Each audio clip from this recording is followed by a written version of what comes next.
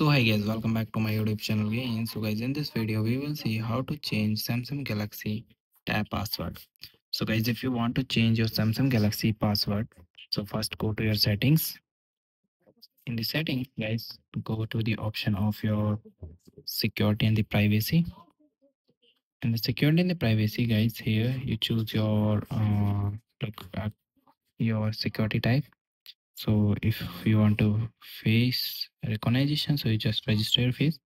Otherwise go here tap on lock screen and tap on the lock screen draw your current pattern.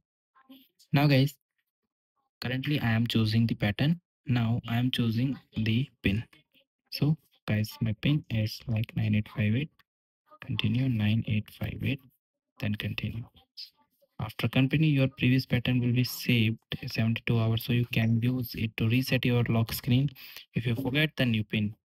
So okay. So just go here just go here and guys what it show? The screen lock is set. So just just tab it and guys turn it on. And when i swipe it so it asks to enter the pin. So i'm just enter the pin and just off. So this is the way that you can change your